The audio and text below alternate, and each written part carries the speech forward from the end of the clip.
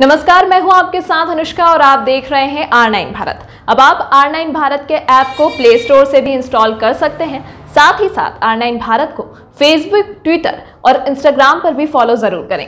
जिला विकास आयुक्त पुंछ इंद्रजीत सिंह ने अपनी पूरी टीम के साथ मंदार के धारगयोन में प्रखंड दिवस आयोजित कर स्थानीय लोगों की परेशानी सुनी। कार तो नहीं उनको रखेगी। जो मुझे मिल गया तो उसको उसको तो नहीं रखेंगे हम।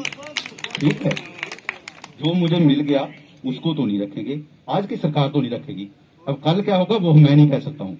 लेकिन जो प्रेजेंट सेटअप है, मुलाजमों को नौकरी पे जाना होगा। मुलाजमों को जो सरकार ने जिस काम के लिए रखा हुआ है, वो काम करना पड़ेगा। और जो उसके एक्स्ट्रा काम करते हैं, दुकानें करते हैं बिज़नेस करते हैं, ठेकेदारियाँ करते हैं टेंडर लगाते हैं किसी भाई के नाम के, किसी भाभी के नाम के, आप कोई सीक्रेट इंक्वायरी करिए मुझे उन मुलाजमों के बारे में। बताइए जो इस किस्म के कामों में इन्वॉल्व है और जो डेवलपमेंटल एक्टिविटी के डेवलपमेंटल जो काम करते हैं, जो टेंडर करती हैं एजेंसीज करती हैं तो वो भी देख लें कि जब वो टेंडरिंग प्रोसेस कर रहे हैं तो कोई ऐसा आदमी तो नहीं है जो उसको जो है वो असल आदमी जो है कोई मुलाजम है और आगे कोई और आया है तो वहाँ उनको भी बड़ा बरीकी से देखना पड़ेगा। इस मेनांस को इस एरिया से खत्म करना पड़ेगा। ये जो इस एरिया का जो मिनांस है, ये खत्म करना पड़ेगा। मुलाजमों को जो है इससे इससे बाहर आना पड़ेगा। और अननेसेसरी मैंने ये देखा है, कुछ मुलाजम जो है, मुलाजम होके ही सरकार के काम में वो करते हैं अड़चन डालते हैं। तो ये कैसे कर सकता है एक मुलाजिम? एक मुलाजिम एक सरकारी, दूसरे काम में अड़चन कैसे डाल सकता है? तो इन चीज़ों पे आपको हमारे साथ आना पड़ेगा। आपको रिवोल्ट करना पड़ेगा, फिर जाकर हम जो है बाकी कामों में सक्सेसफुल हो जाएँगे। जब तक चीज़ों को ठीक नहीं करेंगे, चीज़ों की एक लाइन नहीं डिफाइन करेंगे, तब तक ओवरऑल कहीं कहीं इंडिविजुअल रिज़ल्ट अच्छे आ सकते हैं, लेकिन ओवरऑल रिज़ल्ट अच्छे नहीं आ सकते हैं। अब वही मैं पहले जो कहा कि हमें प्रैक्टिकली काम करना चाहिए। भाषणों का जब सीज़न आएगा तो दे लेंगे। आप लोग दे लेना, हम तो नहीं देते हैं। हम तो नहीं देते हैं। जब सीज़न आएगा तो आप दिल भर के देना।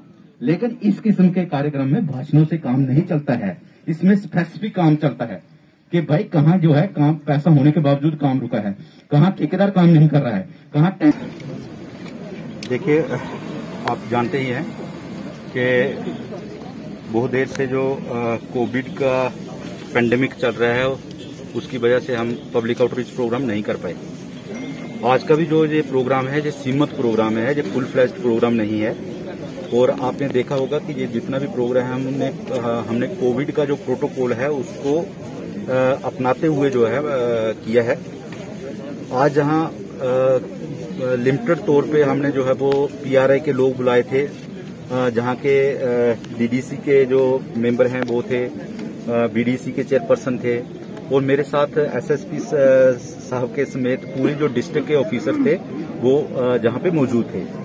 मोटे तौर पे हमने जहाँ की जो समस्या है, आप जानते हैं कि बालाकोट एक बॉर्डर ब्लॉक है, जहाँ की जो समस्या है, इन लोगों के मुँह से सुनी है, सरपंचस के मुँह से सुनी है, और जो और मौजूद जहाँ लोग हैं, उन्होंने जहाँ की समस्याएँ बताई हैं। और जो जितने भी डिपार्टमेंट्स के डिस्ट्रिक्ट हेड हैं, उन्होंने अपने अपने डिपार्टमेंट को जो पर्टेन करती हैं, उनको नोट कर लिया हुआ है। बहुत सारी जो चीज़ें इन्होंने बताई हैं, वो ऑलरेडी हमारे किसी न किसी प्रोग्राम में चल रही हैं और हम, अब उसको हम थोड़ा सा चेज करके एक्सपेडाइट करेंगे, ताकि लोगों को ज़मीन पे पता चले कि भाई हमारे जो समस्याएँ हैं, वो हल हो रही हैं। कुछ ऐसे भी चीज़ें इन्होंने बताई हैं, जो अभी किसी प्रोग्राम में इंक्लूडेड नहीं है। तो हम कोशिश करेंगे कि जब हम नेक्स्ट प्लान बनाएँगे तो जो इनकी जो मेरिट पे जो चीज़ें जो इन्होंने बताई हैं, जो समस्याएँ बताई हैं, अगर वो मेरिट पे आती हैं तो उनको कोशिश करेंगे नेक्स्ट प्लान में इंक्लूड करने की। तो लेकिन फोकस यही रहेगा कि जो हमारा इस साल का जो प्लान है, अब अप्रूव हो गया है टेंडरिंग हो रही है एस्टीमेट बन गए हैं, अब एग्जीक्यूशन की दौर स्टेज पे आ गया है तो मेन फोकस यही रहेगा कि हम जो है इसको अच्छे ढंग से एग्जीक्यूट करवाएँगे, अच्छे ढंग से क्वालिटी और इसका टाइमली एग्जीक्यूशन करवाएँगे, ताकि लोगों को ये पता चले कि अच्छे काम हो रहे हैं। उसमें जो सरपंचेस जो हैं और जो जितने भी मौजूद लोग हैं, उन्होंने हमें जो है अश्योर करवाया है कि वो साथ होकर अच्छी क्वालिटी के और टाइमली जो है इसकी प्रोजेक्ट की एग्जीक्यूशन करवाएँगे। और जहाँ का भी कहीं अगर दिक्कत होगी एडमिनिस्ट्रेशन के नोटिस में लाएँगे और जहाँ जहाँ करेक्शन की ज़रूरत होगी, उसकी करेक्शन हम करेंगे। यही मोटे तौर पे आज जो है वो इस प्रोग्राम का जो मकसद था। थैंक यू है तो मेरा आप सब रिप्रेजेंटेटिव से और मौजूद शारियों से ये तुरंत जो है पुलिस को बताएँ, जो हमारी नियरेस्ट पुलिस यूनिट है चेक पोस्ट है, पुलिस पोस्ट है, जहाँ पुलिस स्टेशन है या किसी और सीनियर ऑफिसर है, उसको बताएँ ताकि हम उसके ऊपर जल्दी से जल्दी जो है कानूनी कार्रवाई करें और जो हमारी नौजवान जो लोग हैं, जो इसकी लत में आ रहे हैं गिरफ्त में आ रहे हैं, उनको जो है, इस लत से हम इसका छुटकारा पाएँ और जो हमारी वर्किंग पॉपुलेशन है, जो इसमें इफ़ेक्ट हो रही है, ताकि हमारी जो है फैमिली स्ट्रक्चर जो है फैमिलीज़ जो है, वो डिस्टर्ब ना हो और एक सोसाइटी में अच्छा माहौल रहे। मैं आपको बताऊँ कि बहुत से हमारे मोस्टली लड़ाई, चोरी के केस स्नैचिंग के केस में जो ड्रग एडिक्ट हैं वो लोग जो हैं, उसमें इन्वॉल्व हैं।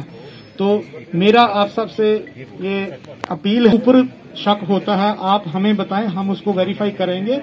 उस... आर नाइन भारत के लिए विशाल भसिन की रिपोर्ट मैंधर से।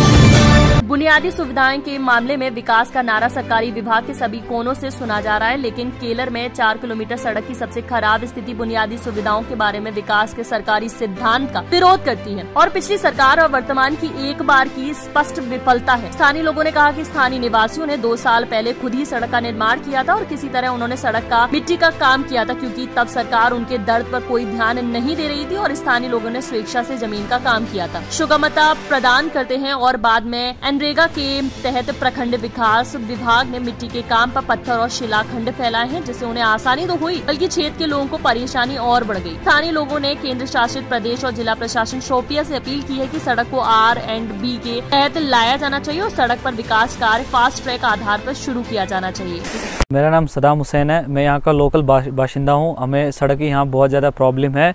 हमने यहाँ दो, चार साल पहले हमने दो दो हज़ार रुपये फ्री घर ने निकाले और हमने थोड़ा रास्ता निकाला था। उसके बाद नरेगा वालों ने थोड़े पत्थर डाले इसमें। उसके बाद आज चार साल हो गए ना इधर कोई आता है ना कुछ। गवर्नमेंट दावा करती है कि हम घर घर तक सड़क पहुँचाएँगे। लगभग ये चार पाँच किलोमीटर दूर है इसमें। दो ढाई सौ चूल्हे बस्ती है यहाँ से।